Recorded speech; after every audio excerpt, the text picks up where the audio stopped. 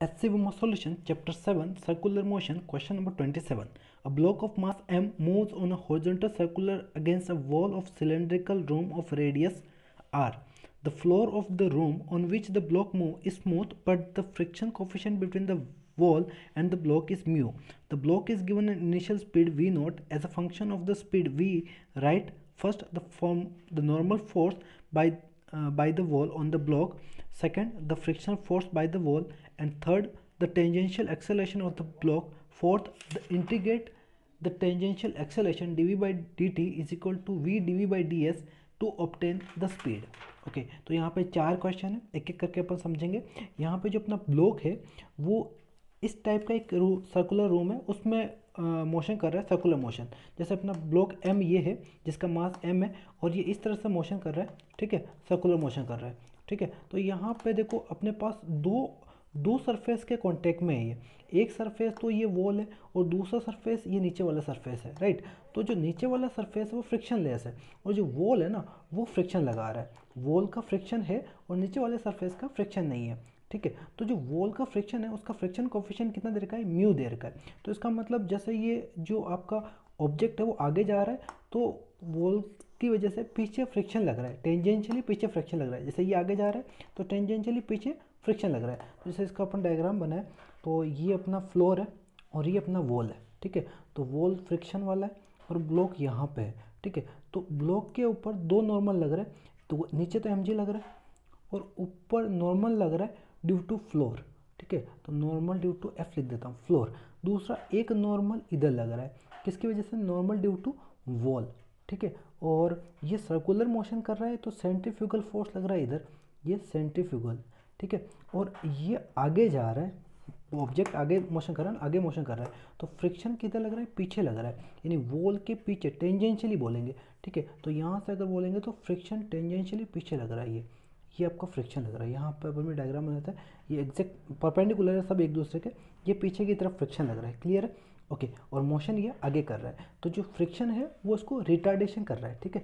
Friction क्या कर रहा है? इसको रिटार्ड कर रहा है। मोशन को रिटार्ड कर रहा है। ये अपना फ्रिक्शन बोल देते हैं। ओके तो देखो, यहाँ पे फ़र्स्ट क्वेश्चन क्या पूछा है अपने को?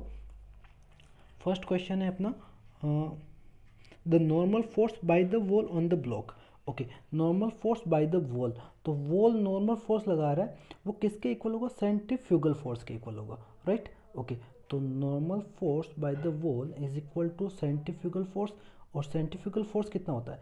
ये होता है M V square by R right तो अपने पास नॉर्मल फोर्स कितना आ जाएगा? N due to wall is equal to M V square by R चलो, ये फ़र्स्ट का आंसर हो गया। सेकंड क्या पूछा है? सेकंड पूछा है the friction force by the wall okay, अब friction force by the wall तो वॉल की वजह से जो फ्रिक्शन लग रहा है, यहाँ पे ये वॉल है तो वॉल की वजह से फ्रिक्शन पीछे लग रहा है, और फ्रिक्शन कितना होता है? फ्रिक्शन हमेशा होता है म्यू इंटू एन एन किसकी एन कौन सा? एन जो फ्रिक्शन प्रोवाइड कर रहा है। तो फ्रिक्शन कौन प्रोवाइड कर रहा है? वॉल तो वॉल का नॉर्मल लेना है राइट तो ये आ जाएगा म्यू इंटू एन डब्ल्यू कितना है? M V square by R अब यहाँ पे गलती क्या करते हैं? अगर आप एन ऑफ़ फ्लोर ले लेते हैं तो गलत होगा। क्योंकि फ्लोर है, वो फ्रिक्शन प्रोवाइड नहीं कर रहा है। तो ये आंसर आएगा friction force okay C part में क्या पूछा है? सी पार्ट में अपने से पूछा है the tangential acceleration of the block okay तो टेंजेंशियल एक्सेलेशन कौन दे रहा है? देखो रेडियल एक्सेलेशन तो सेंटिपिटल एक्सेलेशन है, ये इधर सेंटिपिटल एक्सेलेशन और इधर है वो टेंजेंशियल एक्सेलेशन है। सॉरी रिटार्डेशन है। एक्सेलेशन बॉडी आगे मोशन कर रहा है और फ्रिक्शन पीछे लग रहा है। तो फ्रिक्शन क्या कर रहा है? रिटार्ड कर रहा है। तो अपने पास टेंजेंशियल जो फ्रिक्शन है वो किसकी वजह से टेंजेंशियल फोर्स निकाल देता हूँ मैं? तो पहले tangential force F T is equal to क्या है? टेंजेंशियल फोर्स किसके इक्वल है? फ्रिक्शनल फोर्स के राइट और फ्रिक्शन फोर्स क्या नेगेटिव है? तो अपन फ्रिक्शन फोर्स बोल देते हैं या फिर नेगेटिव साइन लगा सकते हैं। तो इसको M of tangential acceleration is equal to negative of friction force कितना है? Mu M V square by R, या नेगेटिव साइन इसलिए लगा रहे हैं क्योंकि ये रिटायर्ड हो रहा है, यानी पीछे की तरफ़ बॉडी आगे जा रहा है और फ्रिक्शन पीछे लग रहा है। ओके तो टेंजेंशियल फोर्स कितना हो जाएगा? Mu R sorry M V square है ना? एम वी स्क्वायर और अपॉन क्या आ जाएगा? एम नहीं रहेगा अपॉन आर आ जाएगा। तो ये आपका टेंजेंशियल एक्सेलरेशन आ जाएगा। ओके नेक्स्ट पार्ट में क्या पूछा है? नेक्स्ट पार्ट है अपना integrate the tangential acceleration to obtain the speed तो यहाँ पे D V by D T D V by D T क्या टेंजेंशियल वेलोसिटी बोल रहा है। तो टेंजेंशियल एक्सेलेशन कितना है? ये ए टी है। तो ए टी बोल सकता हूँ या फिर मैं बोल सकता हूँ minus of mu V square by R is equal to क्या दे रखा है? V D D V by D X या फिर डी एस डी एक्स लिख देते हैं। ठीक है? तो ये अपने पास फॉर्मूला होता है। Acceleration is equal to V D V by D X यही फॉर्मूला अप्लाई किया इन्होंने। तो यहाँ पर देखो, एक वी एक वी कैंसल आउट तो डी वी अपॉन ये वी नीचे ले लेते हैं। तो D V by V is equal to minus mu by R D X right इसको इंटीग्रेट करते हैं। तो वी अपन कहाँ से कहाँ तक? इनिशियल से फाइनल तक। तो इनिशियल तो अपना वी नोड है और फाइनल अपन वी बोल देते हैं। और ये कहाँ से कहाँ? एक सर्कल बोला है। तो एक सर्कल मतलब ज़ीरो से एक सर्कल ट्रैवल करेंगे तो कितना डिस्टेंस हो जाएगा? टू पाई आर डिस्टेंस हो जाएगा।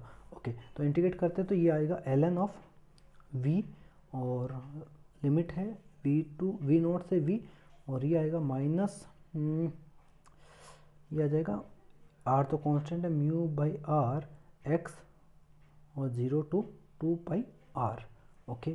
तो देखो ये आया L N L N V by V naught is equal to mu by R two pi R.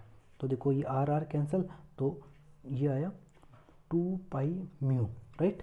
Okay, दोनों ये लोग लेते हैं दोनों तरफ़ तो ये देखो v by V naught is equal to लोग हटाएँगे तो क्या आएगा? ए की power minus two pi mu आएगा, यानी v इज़ इक्वल टू क्या आ जाएगा? वी नोट ए की power minus two pi mu तो v स्पीड कितना होगा? वी नोट ए की power minus two pi mu